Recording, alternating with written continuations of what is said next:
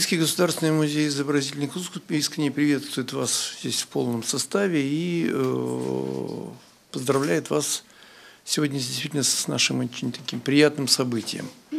Мы открываем сразу две выставки здесь.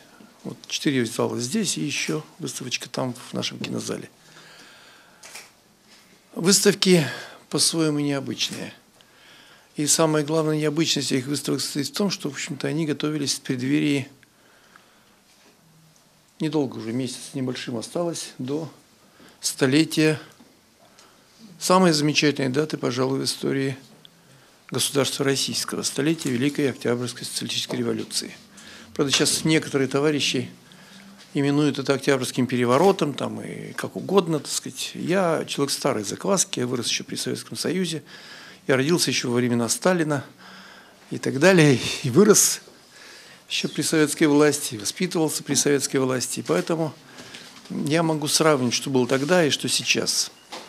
И в отношении школьного образования, в отношении, так сказать, всей остальной действительности и так далее. И поэтому, в общем-то, это сравнение происходит, в общем-то, далеко не в пользу нынешнего, нынешних наших времен, нынешней нашей российской действительности – к сожалению, переход к так называемой рыночной или капиталистической экономике, он э, крайне отрицательно сказался на многих сторонах жизни нашей страны, и экономики, и просто всей нашей с вами социальной жизни, в том числе и на школьных программах тоже.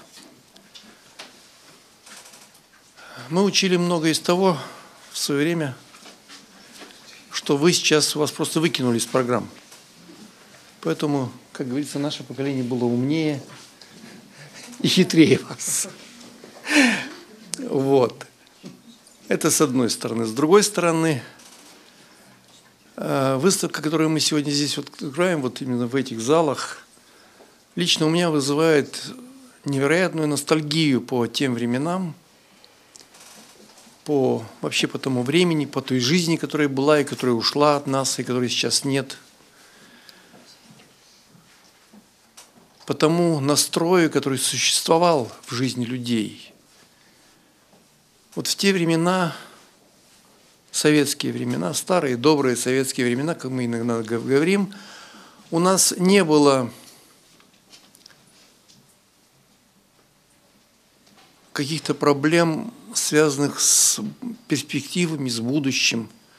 Мы всегда знали, что у нас будет крыша над головой, что у родителей будет работа, будет зарплата, что мы будем сыты, одеты, обуты, накормлены, напоены, что у нас будет бесплатное образование, хоть среднее, хоть высшее, что мы можем получить нормальную медицинскую помощь, если надо, путевку на курорт и так далее, и так далее, и так далее. То есть много было чего. То, что сейчас у нас практически уже не существует, недоступно, и э, приходится иногда с боем за большие деньги выбивать. Мы знали, что у нас пускай не сразу, но в порядке очереди мы получаем квартиру, бесплатную квартиру от государства. Э, мы знали, что государство беспокоится о нас, о людях, о своих тружениках и о молодом поколении тоже. И вот эта выставка как раз ярко это все нам показывает с вами.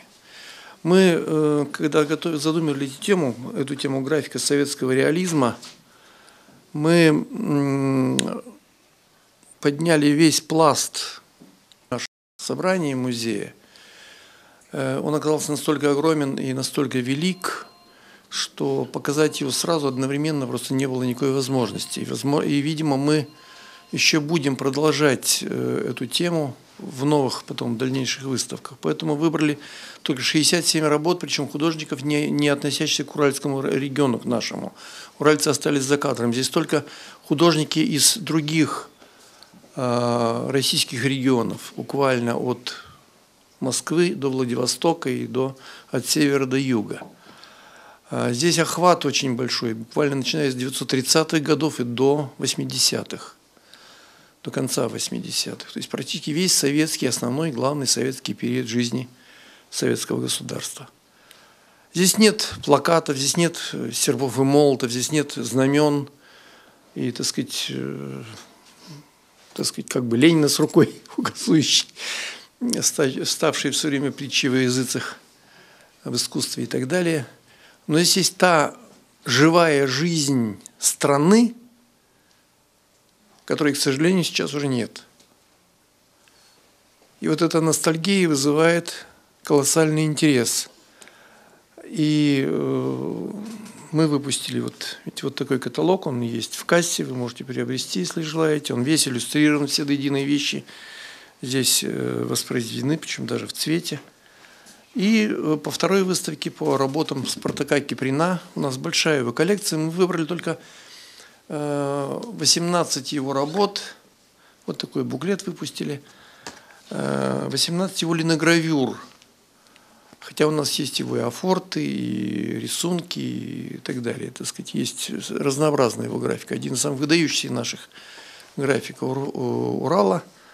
А, но тоже, так сказать, человек, который посвятил свою жизнь именно творчеству, связанному с советской тематикой, с трудом советских людей, в частности, конкретно уральцев, уралмашевцев там, и так далее – и это все сделал в технике линогравюры. Вот этих 18 линогравюр мы выбрали из нашей коллекции, сдали в этом зале и назвали выставку «Поэзия уральской линогравюры», потому что никто из других уральских художников так интересно, ярко и сочно не работал в линогравюре, как работал именно Спартак Киприн.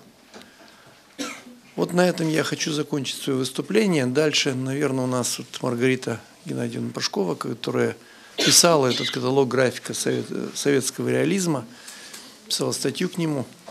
Она, наверное, вам что-то потом расскажет уже там в экспозиции, а сейчас я позволяю себе просто открыть залы этой экспозиции.